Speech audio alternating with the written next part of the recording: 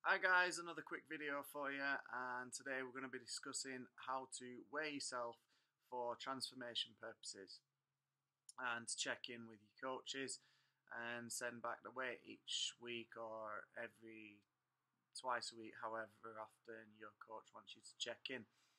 Um, very much the same as taking pictures. The advice here is to keep everything the same um, before you weigh yourself each each time. Okay.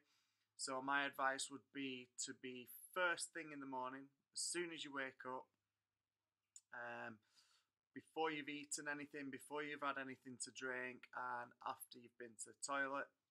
Another thing is clothing. I like to do it completely naked, gives more of a true representation of of my body. Um, you may want to wear underwear, something like that, but make sure it's the same underwear each time. Um, okay, guys, I think that should do it.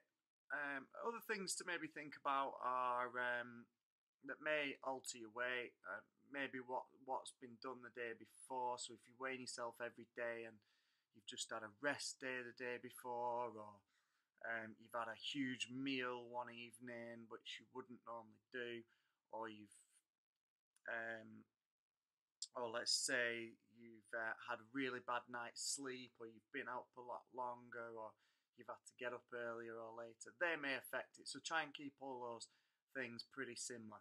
Alright, thanks guys. Check back for more videos soon.